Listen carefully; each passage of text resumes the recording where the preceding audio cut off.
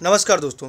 दोस्तों आप सभी सोचते होंगे कि YouTube एक हज़ार व्यूज़ पर कितने पैसे देता है। अगर आप यूट्यूबर हैं तो ज़रूर सोचते होंगे या बनने वाले हैं भविष्य में उसके बारे में कुछ सोच रहे हैं तो ज़रूर सोचते होंगे। तो आपको बता दूँ YouTube एक हज़ार व्यूज़ का कितना पैसा देता है। तो आपको बताते चलें यूट्यूब से के बारे में कि आ, मैं अपना अनुभव शेयर कर रहा हूँ कि मुझे क्या मिला उसके बारे में बता रहा हूँ क्योंकि मैंने जो मुझे जो मिला। आपको बता दूँ यूट्यूब व्यूज़ का कोई भी पैसा नहीं देता है। जी हाँ आपके वीडियो पर कितने भी व्यूज़ हैं उसका पैसा यूट्यूब नहीं देता है। यूट्यूब जो पैसा देता है, वो सिर्फ़ जो आपके वीडियो को जब प्ले करते हैं या बीच में या लास्ट में आपका वीडियो जब प्ले किया जाता है, उस टाइम पर कुछ एड्स आते हैं।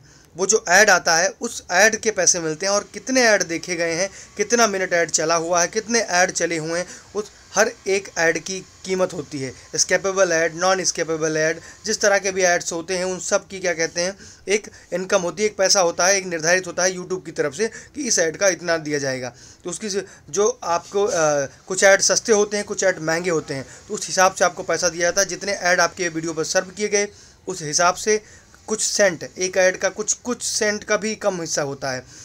मतलब दो चार पाँच ऐड आएगा, तब एक एक सेंट होता है। तो इस तरह से बहुत ज़्यादा, क्या कहते हैं व्यूज़ आने पर कोई मतलब नहीं है। आपका वीडियो में ऐड जितना आया, जितना ऐड प्ले हुआ, लोगों ने जितना ऐड देखा, उतना ज़्यादा आपको पैसा मिलेगा। अगर एक भी ऐड नहीं आया तो आपको एक भी पैसा नहीं मिलने वाला, कितना भी वीडियो आपका वायरल हो जाए।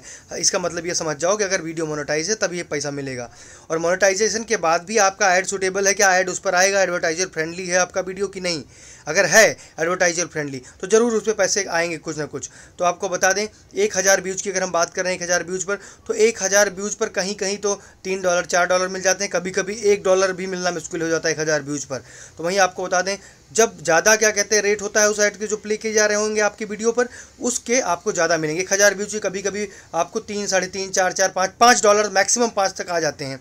लेकिन मेरा जो रहा मतलब एक हज़ार व्यूज़ पर मतलब एक हज़ार व्यूज़ पर मेरे दो ढाई डॉलर ही थे, लेकिन मेरे, मैंने कंटेंट ये समझ के डाला था कि जिस पे ऐड आएँ, उस टाइप के कंटेंट चूज़ किए हुए थे कि किस टाइप के कंटेंट पे ज़्यादा ऐड आते हैं और महँगे ऐड आते हैं। तो इस तरह से आपको कंटेंट भी मैं बताऊँगा किस तरह से होते हैं। अगर आप यूट्यूबर हैं या बनना चाहते हैं आगे कि किस तरह के वीडियोज़ पर ऐड ज़्यादा आते हैं, ज़्यादा इनकम होती है, वो सब मैं जानकारी आपको दूँगा अपने वीडियो के माध्यम से। चैनल को सब्सक्राइब कर लीजिए, वीडियो को लाइक भी करिए शेयर करिए और आपको बता दें कि ज़्यादा ऐड जो आते हैं, वो बहुत सस्ते होते हैं। जोमेटो मेटो के जो इस तरह के ऐड आते हैं फेसबुक के इंस्टा के, ये सब ऐड सस्ते हैं। ऐड होते हैं। इन पर ज़्यादा पैसा यूट्यूब नहीं देता है। लेकिन कुछ ऐड होते हैं जिसपे ऑप्शन लग के आते हैं। वो बहुत महँगे ऐड होते हैं।